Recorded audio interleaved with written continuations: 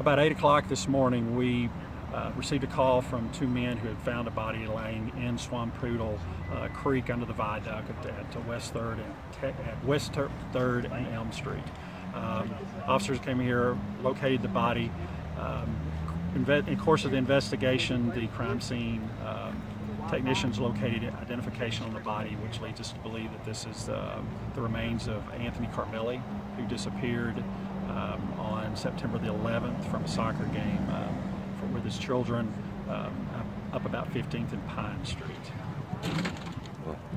Um, any indication as to how long the the remains may have been in place? Um, I really can't say. Um, we're hopeful that the um, autopsy uh, will shed some light both in terms of, of um, how long Mr. Carmeli had been here as well as uh, uh, what had happened to him.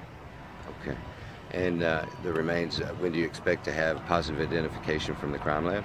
Um, well, you know, if, it's, if they were having to rely on DNA or something to that effect, um, you know, it could be you know, six weeks. Uh, you know, but based upon uh, the, the uh, description of, of the body as well as the identification that was found on it, they were, at this point we're pretty sure that it was Mr. Carmeli.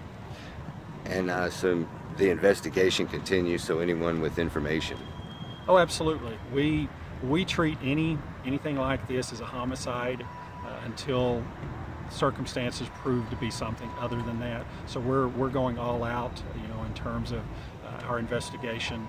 Um, you know, the crime scene, uh, as well as the detectives and, and everything that's involved with that. So we we're going to be doing continuing our investigation. It's now switched from a missing person to, to a deceased person, uh, you know, but we're we're continuing our investigation.